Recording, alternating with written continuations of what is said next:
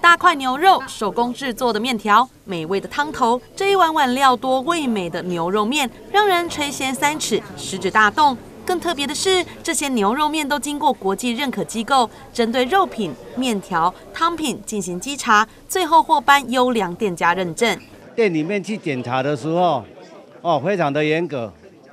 哦，比卫比卫生局在检查还严格。所以呢，我们知道消费者安心来吃我们的面，所以不用担心说我们的任何这些参加这些这些活动的哈，他们的食品啊、他们的肉啊、面啊什么都有问题，没有，完全没有，一定是真正有。OK 的，可以来吃的。这二十五家牛肉面店面，在台北市牛肉面交流发展协会的协助下，更透过台北市商业处指导，结合教育训练以及辅导讲习，在经过几个月的认证机制，终于得到好店标章。我们最主要就是希望让消费者来到我们的这些优良店家。哦，不只是美味，而且要用的安心，用的放心。再来就是我们也会即将在我们有一个官方网站，我们会把它的一些像它的生产履历、它的食安，就最主要我们这些食品来源这些都会做一个溯源，做一个管理。整个牛肉面的营业额哈，就是已经在台北市的部分都已经超过十呃十亿元，